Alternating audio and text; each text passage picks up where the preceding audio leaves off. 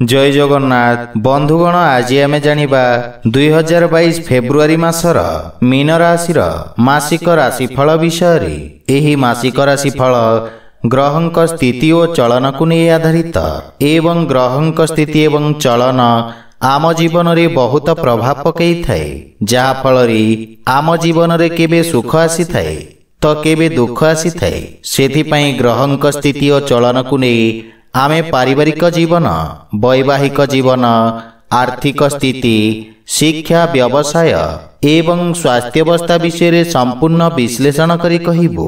ସେଥିପାଇଁ ଭିଡ଼ିଓକୁ ଶେଷ ପର୍ଯ୍ୟନ୍ତ ଦେଖନ୍ତୁ। ଓ ଯେଉଁମାନେ ଆମ ଚ୍ୟାନେଲକୁ ନୂଆ କରି ଆସିଛନ୍ତି ତଳେ ଥିବା ଲାଲ ରଙ୍ଗର ସବସ୍କ୍ରାଇବ୍ ବଟନକୁ ଦବାଇ ଆମ ଚ୍ୟାନେଲକୁ ସବସ୍କ୍ରାଇବ୍ କରନ୍ତୁ। ଓ ପାଖରେ ଥିବା ଘଣ୍ଟି ବଟନକୁ ଦବାଇ ଅଲ୍ରେ ସିଲେକ୍ଟ କରନ୍ତୁ। କାହିଁକି ନା ଆମେ ଅପଲୋଡ କରିଥିବା ପ୍ରତ୍ୟେକ ଭିଡ଼ିଓର ନୋଟିଫିକେସନ୍ ଆପଣ ସର୍ବପ୍ରଥମେ ପାଇପାରିବେ।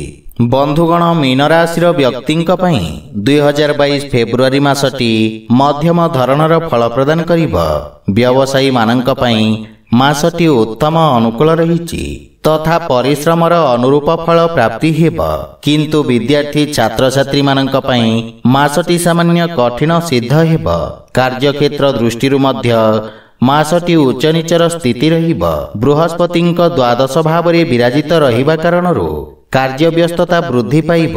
କାର୍ଯ୍ୟକୁ ନେଇ ଆପଣ ମାନସିକ ଚିନ୍ତିତ ରହିବେ। ଏହା ବ୍ୟତୀତ କାର୍ଯ୍ୟକ୍ଷେତ୍ର ସମ୍ବନ୍ଧିତ ବିଦେଶ ଯିବାର ମଧ୍ୟ ପ୍ରବଳ ଯୋଗ ରହିଛି। ବାଣିଜ୍ୟ ବ୍ୟବସାୟରେ ଉତ୍ତମ ଲାଭ ପ୍ରାପ୍ତ କରିବେ। ତଥା ଆପଣ ଯେତେ ଅଧିକ ପ୍ରୟାସ କରିବେ ସେତିକି ଲାଭ ପ୍ରାପ୍ତି ହେବ।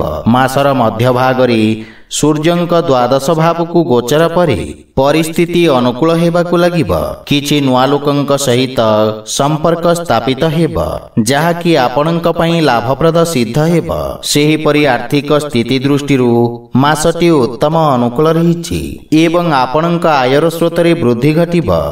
ଏକାଦଶ ଭାବରେ ସ୍ୱଗ୍ରହୀ ହୋଇ ଶନିଦେବଙ୍କ ଉପସ୍ଥିତି ଏବଂ ସୂର୍ଯ୍ୟ ବୁଧଙ୍କ ସହିତ ଜ୍ୟୋତି କାରଣରୁ ନୂଆ ନୂଆ ଆୟର ସ୍ରୋତ ନିର୍ମାଣ ହେବ ଦ୍ୱିତୀୟ ଭାବର ସ୍ୱାମୀ ମଙ୍ଗଳ ସରକାରୀ କ୍ଷେତ୍ରରୁ ଆପଣଙ୍କୁ ଲାଭ ପ୍ରଦାନ କରିବେ। ଏବଂ ବାଣିଜ୍ୟ ବ୍ୟବସାୟରେ ମଧ୍ୟ ଆପଣ ଲାଭବାନ ହେବେ। ତଥା ଆର୍ଥିକ ସ୍ଥିତି ସୁଦୃଢ଼ ଓ ମଜବୁତ ହେବାକୁ ଲାଗିବ। ପୁରୁଣା ଋଣ ଭାରରୁ ଆପଣ ମୁକ୍ତି ପାଇବେ ଧାର୍ମିକ ଆଧ୍ୟାତ୍ମିକ କାର୍ଯ୍ୟ ପ୍ରତି ଆପଣଙ୍କ ରୁଚି ବଢ଼ିବ କିନ୍ତୁ ପ୍ରେମ ସମ୍ବନ୍ଧ ଦୃଷ୍ଟିରୁ ମାସଟି ସାମାନ୍ୟ ସଂଘର୍ଷପୂର୍ଣ୍ଣ ରହିବ ଶନି ଓ ବୁଧଙ୍କ ପଞ୍ଚମ ଭାବରେ ଦୃଷ୍ଟି ପ୍ରେମ ଜୀବନରେ ଉଚ୍ଚନୀଚର ସ୍ଥିତି ଉତ୍ପନ୍ନ କରିବ।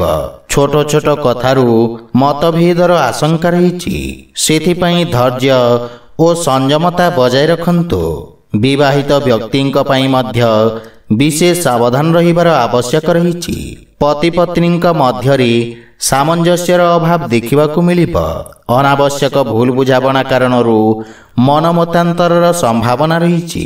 ମାସର ଦ୍ୱିତୀୟାର୍ଦ୍ଧରେ ସୂର୍ଯ୍ୟ ବୃହସ୍ପତିଙ୍କ ସହିତ ଦ୍ୱାଦଶ ଭାବରେ ବିରାଜିତ ରହିବେ ଯାହାଫଳରେ ସ୍ଥିତିରେ ସୁଧାର ଆସିବ ଏବଂ ସମ୍ବନ୍ଧରେ ମଧୁରତାର ସଞ୍ଚାର ହେବ।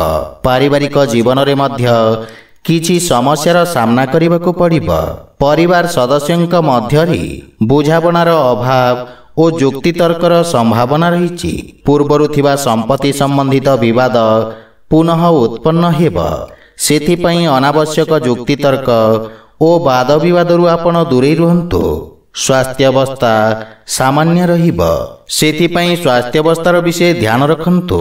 ଆପଣଙ୍କ ପାଇଁ ପ୍ରତିକାର ହେଲା ଆପଣ ପ୍ରତ୍ୟହ ହନୁମାନଙ୍କ ପୂଜାର୍ଚ୍ଚନା କରି ହନୁମାନ ଚାଲିସାର ପାଠ କରନ୍ତୁ ଶୁଭ ଫଳ ପାଇବେ। ତ ବନ୍ଧୁଗଣ ଏହା ଥିଲା ଦୁଇ ହଜାର ବାଇଶ ଫେବୃଆରୀ ମାସର ମୀନ ରାଶିର ମାସିକ ରାଶିଫଳ ବିଷୟରେ। ଯଦି ଭିଡ଼ିଓଟି ଆପଣମାନଙ୍କୁ ଭଲ ଲାଗିଥାଏ ଲାଇକ୍ ସେୟାର ଓ କମେଣ୍ଟ କରି ଜଣାନ୍ତୁ ଏବଂ ଆମ ଚ୍ୟାନେଲକୁ ସବସ୍କ୍ରାଇବ୍ କରନ୍ତୁ। ଜୟ ଜଗନ୍ନାଥ।